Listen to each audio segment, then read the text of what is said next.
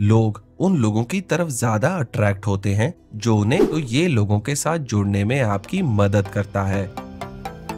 Hello brain book army स्वागत है आपका ब्रेन बुक चैनल में, जहाँ पर आप देख सकते हैं कंप्लीट बुक समरीज आज मैं आपके लिए एक एफबीआई एजेंट जैक शेफर और मार्विल कैलिंस की बुक द लाइक स्विच की कंप्लीट बुक समरी लेकर आया हूँ। द लाइक स्विच बुक में उन सभी टूल्स और टेक्निक्स के बारे में बताया गया है, जिनकी मदद से आप किसी से भी दोस्ती कर सकते हैं। चाहे आप सेल्स का काम कर रहे हो, किसी डेट पर गए हो, या फिर कोई जॉब इंटरव्यू दे रहे हो। इस बुक में उन ट्रिक्स के बारे में भी बताया गया है, जिसे एफबीआई सालों से जासूसों और इन्फॉर्मेंट्स यानी मुखबिरों को अपने जाल में फंसाने के लिए इस्तेमाल करती आई है और जिनकी मदद से आप ये जानेंगे कि कैसे आप किसी को भी इन्फ्लुएंस और अट्रैक्ट कर सकते हैं और कैसे आप लोगों का दिल जीत सकते हैं। साथ ही साथ आप ये भी जानेंगे कि फ़र्स्ट इम्प्रेशन को बेहतर करने के लिए रिलेशनशिप को लंबे समय तक बनाए रखने के लिए और दूसरों के बिहेवियर को समझने के लिए कौन सी चीज़ें ज़रूरी हैं। दोस्तों,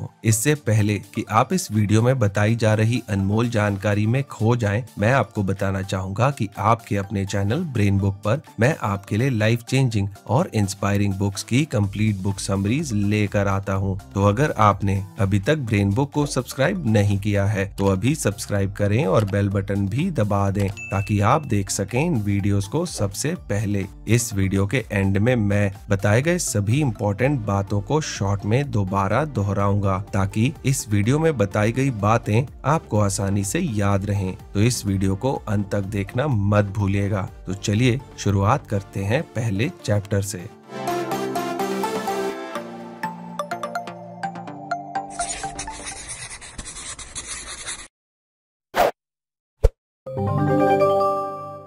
Chapter one the friendship formula अगर आप चाहते हैं कि कोई आपको पसंद करे तो इसके लिए आपको क्या करना चाहिए? ज़्यादातर लोगों की सलाह शायद ये होगी कि आप जैसे हैं, वैसे रहें। लेकिन राइटर इस बात से सहमत नहीं है। उनका कहना है कि सिर्फ़ जेनुअन होने के अलावा पसंद करने के लिए और भी काफ़ी कुछ होता है। वो कहते हैं कि फ्रेंडशिप का एक फॉर्मूला होता है और इस फॉर्मूले के चार हिस्से हैं। पहला प्रोक्सीमिटी दूसरा फ्रीक्वेंसी तीसरा ड्यूरेशन और चौथा इंटेंसिटी अगर आप चाहते हैं कि कोई आपको पसंद करे तो इसका पहला स्टेप है।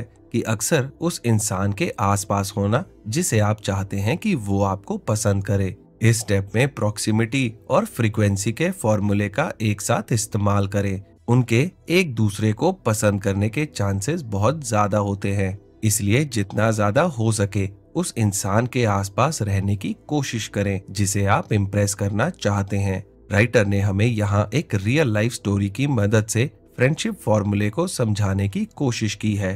चार्ल्स नाम का एक एफबीआई एजेंट था, जिसे सीगल नाम के एक फॉरेन डिप्लोमेट के साथ दोस्ती करने के लिए कहा गया, ताकि उसे अमेरिका के लिए दूसरे देशों की जासूसी करने के लिए राज़ी किया जा सके। इसके लिए चार्ल्स सबसे पहले प्रोक्सीमिटी और फ्रीक्वेंसी फॉर्मूले का इस्तेमाल करके उस ग्रोसरी स्टोर तक हर दिन सीगल को फॉलो करने लगा, जहाँ सीगल अक्सर जाया करता था, ताकि वो लोग हर दिन एक ही एनवायरनमेंट में टाइम बिता सकें। साथ ही साथ चार्ल्स ये भी कोशिश करता था कि सीगल का ध्यान बार बार उसकी तरफ़ जाए, ताकि वो फेमिलियर यानी जाना पहचाना लगने लगे। इसके बाद अगला कदम था ड्यूरेशन और इंटेंसिटी के फॉर्मूले को इस्तेमाल करना। ड्यूरेशन बहुत इम्पोर्टेंट है। जितना ज़्यादा टाइम आप किसी के साथ बिताएँगे, उतना ही आप उन्हें खुद को पसंद करने के लिए इन्फ्लुएंस कर पाएँगे। ड्यूरेशन के फॉर्मूले का इस्तेमाल करके चार्ल्स सीगल के आसपास ज़्यादा टाइम बिताने लगा।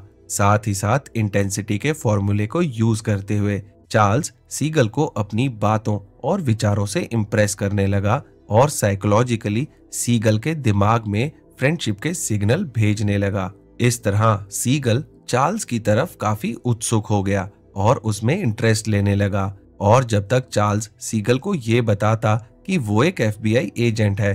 तब तक सीगल चार्ल से इम्प्रेस हो चुका था और उसका दोस्त बन चुका था और इसी वजह से वो जासूस बनने के लिए भी राज़ी हो गया। द लाइक स्विच के इस फ्रेंडशिप फॉर्मूले का इस्तेमाल करके आप आसानी से दोस्त बना सकते हैं और साथ ही साथ अपने जीवन में अच्छे रिलेशनशिप भी बना सकते हैं। Chapter two getting notice before a word is spoken जुगनुओं और इंसानों में कोई खास समानता नहीं है।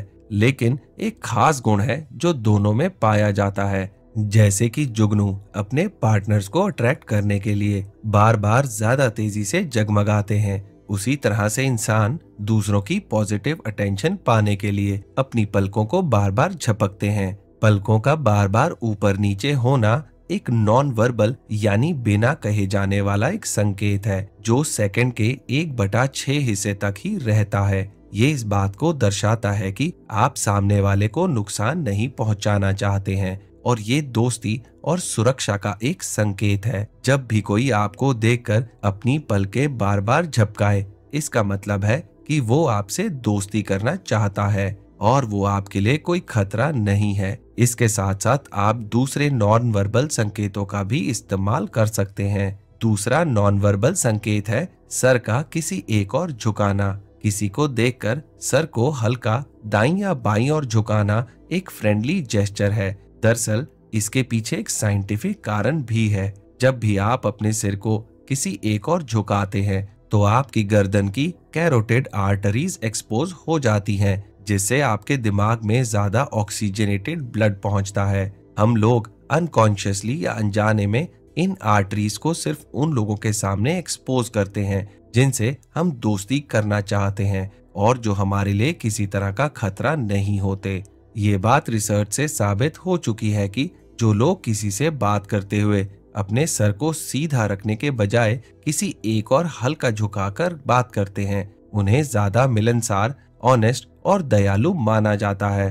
अगला पावरफुल नॉन वर्बल संकेत है, एक जेनुअन स्माइल एक हँसते हुए चेहरे को ज़्यादा पसंद किया जाता है। और लोग उसकी तरफ़ ज़्यादा अट्रैक्ट होते हैं। स्माइल या मुस्कुराहट एक सामाजिक संकेत है, जो फ्रेंडलीनेस को दर्शाता है। इसके अलावा, जब भी आप मुस्कुराते हैं, आपके शरीर में एंडोर्फिन हार्मोन्स रिलीज़ होता है, जिससे आपको अच्छा महसूस होता है। साथ ही साथ, अगर कोई आपसे मुस्कुराकर बात करे तो उसकी तरफ़ ना मुस्कुराना बहुत ही मुश्किल होता है। एक जेनुअन स्माइल सामने वाले को अच्छा महसूस कराती है।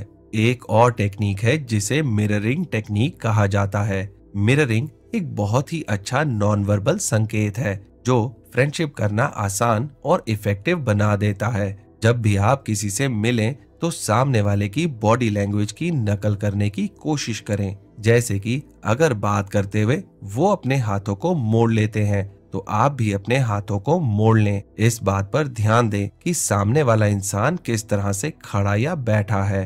आप भी उसी तरह से खड़े होने या बैठने की कोशिश करें। इन सभी नॉन वर्बल संकेतों का इस्तेमाल करके आप ज़्यादा लाइकेबल बन सकते हैं और किसी से भी आसानी से दोस्ती कर सकते हैं। साथ ही साथ दूसरे लोगों में इन संकेतों पर ध्यान देकर आप ये भी पता लगा सकते हैं कि कोई आपकी तरफ़ अट्रैक्टेड है या नहीं। Chapter three the golden rule of friendship पिछले चैप्टर में आपने जाना कि किस तरह आप नॉन वर्बल संकेतों का इस्तेमाल करके एक पॉजिटिव रिलेशनशिप की शुरुआत कर सकते हैं। अब हम जानते हैं कि वर्बल यानी बातचीत का मौका आने पर हम किस तरह सामने वाले इंसान को इम्प्रेस कर सकते हैं। दोस्ती का एक गोल्डन रूल है, जो ये कहता है कि अगर आप चाहते हैं कि लोग आपको पसंद करें तो लोगों को उनके बारे में अच्छा महसूस करवाएँ। राइटर ये भी कहते हैं कि ये बात किसी भी रिलेशनशिप को सक्सेसफुल बनाने के लिए सबसे ज़्यादा इम्पोर्टेंट है।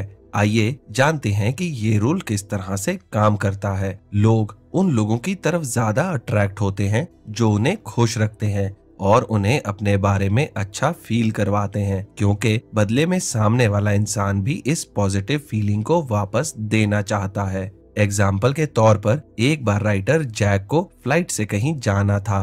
और उन्हें इकोनॉमी क्लास की बीच की सीट मिली, जो उन्हें पसंद नहीं थी। इसके लिए उन्होंने अपने फ्रेंडशिप स्किल को अजमाने की कोशिश की और टिकट एजेंट से बात करने लगे। बातचीत के दौरान उन्होंने खुद के बारे में बहुत ही कम बात की और उन्होंने टिकट एजेंट को ज़्यादा से ज़्यादा बात करने का मौका दिया। वो बड़े ही ध्यान से उसकी बातें सुनते रहे और उसकी बातों में दिलचस्पी लेने लगे। इस बातचीत के दौरान राइटर ने टिकट एजेंट को उसके बारे में बहुत ही अच्छा महसूस करवाया। उन्होंने उसके काम की तारीफ़ की। कुछ देर बाद जब राइटर की फ़्लाइट के जाने का टाइम हो गया और राइटर जब वहाँ से जाने लगे, तभी टिकट एजेंट ने उन्हें बुलाकर उनके इकोनॉमी क्लास के टिकट को बिज़नेस क्लास के टिकट में बदल दिया। दिलचस्प बात यह थी कि अपनी बातचीत के दौरान राइटर ने एक बार भी टिकट एजेंट से अपनी टिकट को बदलने की बात नहीं की थी। वो ज़्यादातर टाइम सिर्फ़ उसके बारे में और उसकी लाइफ के बारे में बातें करते रहे और अपनी बातों के ज़रिए उसे पॉजिटिव फील करवाते रहे। इसलिए अगर आप भी किसी से फ्रेंडशिप करना चाहते हैं तो लोगों को उनके बारे में अच्छा फील करवाएँ और उनकी तारीफ़ करें। दूसरों से बातें करते समय उनकी बातों को ध्यान से सुने और उनके बारे में ज़्यादा से ज़्यादा जानने की कोशिश करें। अंग्रेज़ी में कहावत है कि always treat others the way you would like to be treated यानी कि हमेशा दूसरों से उसी तरह का बर्ताव करें, जैसा बर्ताव आप खुद के लिए चाहते हैं। दोस्तों ब्रेन बुक चैनल पर हमारी सोच है कि हम आपके साथ लाइफ चेंजिंग बुक्स की समरी शेयर कर आपकी लाइफ में एक पॉजिटिव बदलाव ला सकें। हमारी इसी सोच को पूरा करने के लिए कुकू एफ़ जो कि इंडिया का एक लीडिंग ऑडियो बुक प्लेटफॉर्म है, ने आपके लिए स्पेशल 50% डिस्काउंट का उपहार दिया है। इस ऐप की सालाना सब्सक्रिप्शन तीन सौ निन्यानवे रूपए है। पर अगर आप बी फिफ्टी कोड को यूज़ करते हैं तो आपको मिलेगा 50% डिस्काउंट यानी कि अब आपकी सालाना सब्सक्रिप्शन सिर्फ़ एक सौ निन्यानवे रूपए की होगी, जो कि रोज के एक रुपए से भी कम है। ऑडियो बुक्स न सिर्फ़ हमारा टाइम बचाती हैं, बल्कि कुकू एफ़ पर आपको मिलती हैं एक हज़ार से भी ज़्यादा बुक समरीज इंस्पिरेशनल बायोग्राफीज और भी बहुत कुछ। वो भी सिर्फ़ एक बुक की कीमत में। और यही नहीं, ये ऑडियो बुक्स आप अपनी रीजनल लैंग्वेज में भी सुन सकते हैं। तो देर मत कीजिए और अपने फ़ोन पर Kuku FM mobile app install करके कम्युनिकेट टू इन्फ्लुएंस और ऐसी ही ढेर सारी ऑडियोज को सुनकर अपनी लाइफ में एक पॉजिटिव बदलाव लाएँ। याद रखें, ये 50% डिस्काउंट केवल पहले 250 यूज़र्स के लिए है तो देर मत कीजिए और इस स्पेशल बीबी 50 डिस्काउंट कोड का फ़ायदा उठाकर अपनी लाइफ में एक पॉजिटिव बदलाव लाएँ। आप डिस्क्रिप्शन में दिए हुए लिंक पर जाकर कोको एफ़ ऐप को डाउनलोड कर सकते हैं chapter four the law of attraction law of attraction कई लॉज को मिलाकर एक गाइडलाइन की तरह काम करता है, जिसे जब आप फॉलो करते हैं तो ये लोगों के साथ जुड़ने में आपकी मदद करता है। इसमें से एक लॉ है द लॉ ऑफ़ सिमिलैरिटी जिसके अनुसार जिन लोगों के बिलीव्स और थॉट्स एक जैसे होते हैं, वो अक्सर दोस्त बन जाते हैं। ये लॉ इसलिए काम करता है, क्योंकि जब दो लोगों के बिलीव्स और थॉट्स एक जैसे होते हैं तो वो एक दूसरे से किसी भी तरह की बात शेयर करने में ज़्यादा कंफर्टेबल महसूस करते हैं। लॉ ऑफ़ सिमिलैरिटी का इस्तेमाल करके आप उन लोगों में सिमिलैरिटी ढूंढ सकते हैं, जिनके साथ आप अच्छे रिलेशनशिप बनाना चाहते हैं। जैसे कि अगर सामने वाले इंसान ने किसी स्पोर्ट्स टीम की टी शर्ट पहनी हो तो इस बात की ज़्यादा संभावना है कि वो उसकी फेवरेट टीम होगी। इसलिए आप उससे उसकी फेवरेट टीम या स्पोर्ट्स के बारे में बात कर सकते हैं। इससे वो आपसे बात करने में और ज़्यादा इंटरेस्ट दिखाएगा। तो अगर जब भी आपको किसी भी तरह की सिमिलैरिटी नज़र आए तो ज़्यादा से ज़्यादा उस चीज़ से रिलेटेड बातें करें और ऐसे टॉपिक को अवॉइड करें, जिसमें सामने वाले का कोई भी इंटरेस्ट ना हो। दूसरा लॉ है लॉ ऑफ़ क्यूरियोसिटी जो ये कहता है कि जब आप किसी इंसान में क्यूरियोसिटी यानी उत्सुकता दिखाते हैं तो वो इंसान अपने आप ही आप में इंटरेस्टेड हो जाता है। क्यूरियोसिटी हम इंसानों का एक यूनिवर्सल गुण है। इसलिए ये दूसरों के ध्यान को अट्रैक्ट करने में बहुत ज़्यादा इफ़ेक्टिव होता है, जब आप कुछ इस तरह से बिहेव करते हैं, जिससे दूसरे लोगों में क्यूरियोसिटी पैदा हो।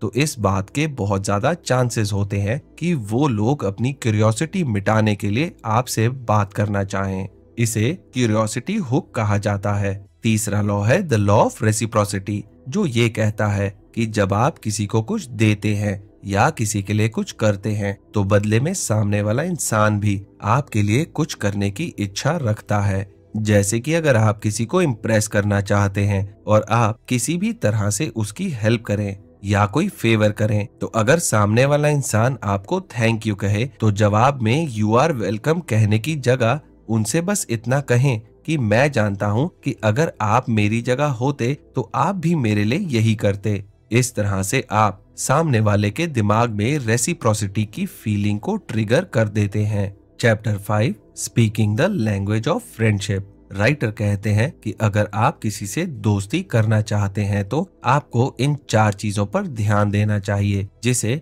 शॉर्ट में वो लव कहते हैं, यानी कि लिसन ऑब्ज़र्व वोकलाइज और एम्पथाइज पहला लिसन सबसे पहले आपको दूसरों की बातों को बड़े ही ध्यान से सुनना होगा। जैसे कि अगर आप किसी से कोई बात करते हैं या कोई स्टोरी सुनाते हैं और सामने वाला आपकी बातों पर ध्यान नहीं देता या आधे अधूरे मन से आपकी बातें सुनता है तो ऐसे में आपको बहुत ही बुरा महसूस होगा। दरअसल, जब आप किसी से बात करते हैं तो आप अच्छी तरह से समझ सकते हैं कि सामने वाला इंसान आपकी बातें ध्यान से सुन रहा है या नहीं। इसलिए, जब भी कोई आपसे बात करे तो हमेशा उसकी बातों को ध्यान से सुने, उसके साथ आई कांटेक्ट बनाएँ और उसे कभी भी बीच में ना टोकें। दूसरा ऑब्ज़र्व सामने वाले इंसान के नॉन वर्बल सिग्नल्स और बॉडी लैंग्वेज को ऑब्ज़र्व करने की कोशिश करें, जैसे कि पीछे की ओर झुककर बात करना, पैरों को एक दूसरे पर चढ़ा लेना, हाथों को आपस में बाँध लेना। ये सभी इस बात का संकेत है कि आपकी बातचीत अच्छी नहीं चल रही।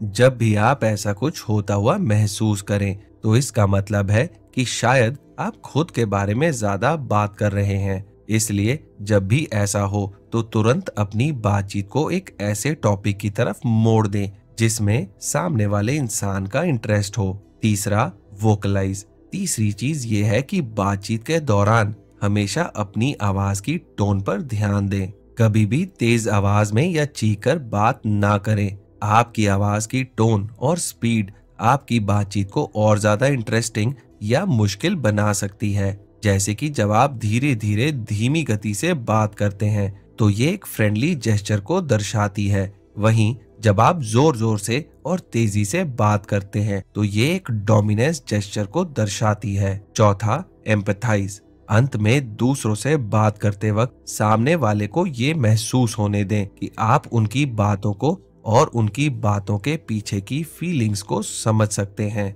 साथ ही साथ, बातचीत के दौरान आप लोगों से अपनी बातचीत से रिलेटेड टॉपिक पर भी सवाल करें। इससे आपकी बातचीत और ज़्यादा एंगेजिंग हो जाएगी। एम्पति फ्रेंडशिप करने का एक बहुत ही पावरफुल टूल है। जब आप एम्पति के साथ बात करते हैं तो सामने वाले को ऐसा लगता है कि आप उनकी बातों पर ध्यान दे रहे हैं। और ये चीज़ आपके फ्रेंडशिप को और ज़्यादा डेवलप करने में मदद करती है। चैप्टर सिक्स बिल्डिंग क्लोजनेस दोस्ती करने के लिए और रिश्तों को निभाने के लिए एक खास तरह की बॉन्डिंग एजेंट की ज़रूरत होती है, जिसे रेपो कहा जाता है, जिसका मतलब है एक क्लोज रिलेशनशिप जब आप किसी दूसरे इंसान के साथ कनेक्ट होते हैं तो रेपो ही वो चीज़ है, जिसके आधार पर आपका रिलेशनशिप आगे बढ़ता है। अगर आप दोस्त बनाना चाहते हैं तो ये आपकी रिस्पॉन्सिबिलिटी है कि आप एक रेपो बनाने की कोशिश करें।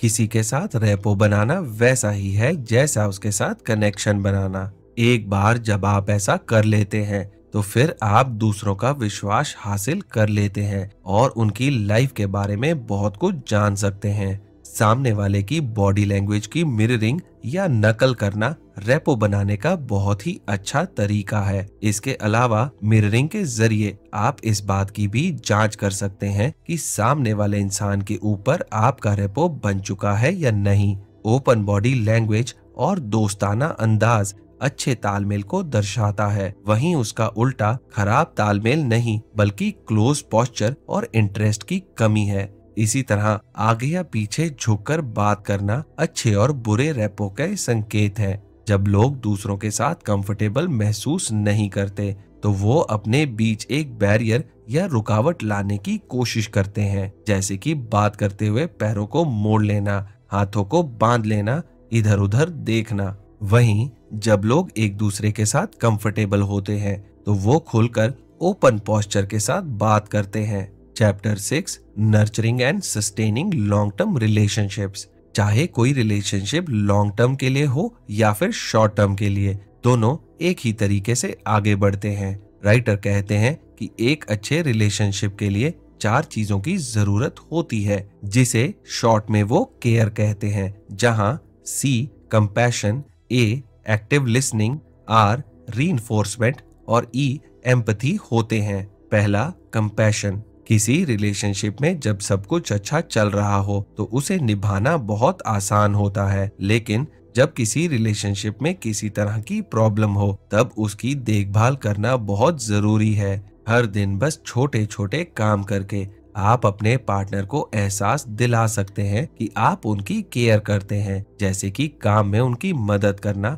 ज़रूरत के वक्त उनके साथ मौजूद होना, उनके लिए कुछ स्पेशल करना या फिर कुछ और नहीं तो कम से कम अपने पार्टनर को जेनुअन कॉम्प्लीमेंट देना आपके पार्टनर को खुशी दे सकता है। जब भी आप किसी को कॉम्प्लीमेंट देते हैं या उसकी तारीफ़ करते हैं तो कुछ दिनों बाद आप भले ही इस बात को भूल जाएँ, लेकिन सामने वाले इंसान को ये बात लंबे समय तक याद रहती है। दूसरा एक्टिव लिसनिंग किसी लॉन्ग टर्म रिलेशनशिप में कम्युनिकेशन या बातचीत का बहुत ही अहम रोल है। इसके लिए ज़रूरी है कि आप अपने पार्टनर की बात ध्यान से सुने। जब आप अपने पार्टनर की बात ध्यान से सुनते हैं तो आप उनकी जरूरतों को अच्छी तरह से समझ सकते हैं और ये भी जान पाते हैं कि उन्हें कब कैसा फील होता है। वहीं दूसरी ओर, अगर आपका रिलेशनशिप भले ही कई साल पुराना है, लेकिन अगर आप अपने पार्टनर की बातों पर ध्यान नहीं देते तो आप उनकी फीलिंग्स और इमोशंस को कभी भी ढंग से समझ नहीं पाएँगे। तीसरा री जब भी आपका पार्टनर कुछ अच्छा करे तो उसकी तारीफ़ ज़रूर करें। इसके बाद कोशिश करें कि आप कभी भी अपने पार्टनर का बर्थडे या अपनी एनिवर्सरी के बारे में ना भूलें। उन्हें हमेशा वही गिफ्ट दें जिनकी उनको ज़रूरत हो या जो उन्हें पसंद हो। अगर आप ऐसा गिफ्ट देंगे जो उन्हें नहीं चाहिए, भले ही आपका गिफ्ट कितना ही महँगा क्यों ना हो, आपके पार्टनर के लिए ये गिफ्ट बेकार ही होगा। इसके अलावा अपने पार्टनर को डिसीज़न लेने के लिए इंकरेज करें। खासकर उन डिसीजंस में अपने पार्टनर को ज़रूर शामिल करें, जिसका असर आप दोनों की लाइफ पर पड़ता हो। चौथा एम्पथी एम्पथी केयर का आखिरी और बहुत ज़रूरी हिस्सा है। ये समझने की कोशिश करना कि आपका पार्टनर कैसा फील कर रहा है और आप कैसे उसकी केयर कर सकते हैं। तो ये एक अच्छे रिलेशनशिप को बनाए रखने के लिए बहुत ज़रूरी है। इसके अलावा आपस में कोई प्रॉब्लम होने पर हमेशा सिचुएशन को सामने वाले के नज़रिए से भी देखने की कोशिश करें। इस तरह से आप कभी भी गलत डिसीज़न नहीं ले पाएँगे। Chapter eight the perils and promise of relationships in a digital world आज के टाइम में दोस्त बनाने में इंटरनेट का बहुत ही अहम रोल है, लेकिन ध्यान देने वाली बात ये भी है कि इंटरनेट पर बनने वाले सभी दोस्त असल नहीं होते। एक इंट्रोवर्ट यानी कम बात करने वाले और शर्मीले लोगों के लिए सोशल नेटवर्किंग साइट्स एक वरदान की तरह है, क्योंकि सोशल नेटवर्किंग साइट्स पर वो आसानी से अनजान लोगों से भी बात कर सकते हैं और दोस्ती कर सकते हैं। वहाँ उन्हें किसी के रिजेक्शन का डर नहीं होता और उन्हें सामने वालों की बातों का जवाब देने का टाइम भी मिल जाता है। Law of similarity digital world में बहुत अच्छे से काम करता है। इंटरनेट पर लोगों का ग्रुप होता है, जो एक ही टॉपिक या एक ही इंटरेस्ट के लोगों के लिए होता है। एक ही इंटरेस्ट रखने वाले लोगों के साथ जुड़ना और उनसे दोस्ती करना आज से पहले इतना आसान कभी नहीं था। इंटरनेट ने दोस्ती करने और रिलेशनशिप बनाने की डेफिनेशन ही बदल दी है। रिलेशनशिप बनाने के लिए इंटरनेट एक बहुत ही अच्छा टूल है, लेकिन इसके कुछ नुकसान भी हैं। इंटरनेट पर नए दोस्त बनाने से पहले आपको इस बात पर ध्यान देना चाहिए कि आप अपनी प्राइवेसी को कैसे बचाएँगे। इंटरनेट पर आपके द्वारा पोस्ट की गई जाने वाली चीज़ों का फ्यूचर में आपके खिलाफ इस्तेमाल किया जा सकता है। इसलिए ऐसा कुछ भी पोस्ट ना करें, जिसकी वजह से आगे चलकर आपको पछताना पड़े। इस बात का भी ध्यान रखें कि इंटरनेट पर चीज़ें जैसी दिखती हैं, वो अक्सर वैसी नहीं होती। ऐसे बहुत सारे ठग और जालसाज लोग ऑनलाइन अपने शिकार की तलाश में रहते हैं, इसलिए किसी भी तरह की प्रॉब्लम से बचने के लिए इंटरनेट का इस्तेमाल बहुत ही सावधानी से करें।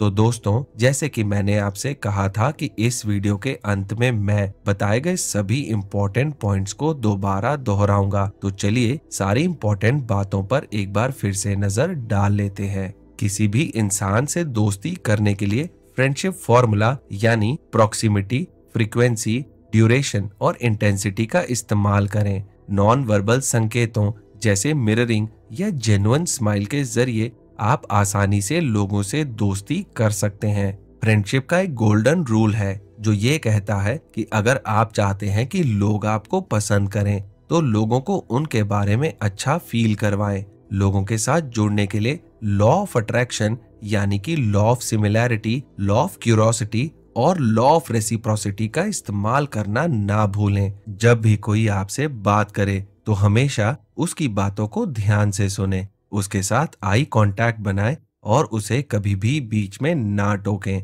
अगर आप दोस्त बनाना चाहते हैं तो ये आपकी रिस्पॉन्सिबिलिटी है कि आप एक रेपो बनाने की कोशिश करें। अपने रिलेशनशिप को अच्छा बनाए रखने के लिए अपने पार्टनर की तारीफ़ करें। छोटे छोटे कामों में उनकी मदद करें उनकी बातें ध्यान से सुने और उनकी फीलिंग्स को समझने की कोशिश करें। तो दोस्तों, मुझे उम्मीद है कि आपको द लाइक स्विच बुक पर बना ये वीडियो पसंद आया होगा। मैं जल्दी आपके लिए एक नया लाइफ चेंजिंग वीडियो लेकर आऊँगा। तो चलिए, मिलते हैं अगले वीडियो में। आपका समय शुभ हो।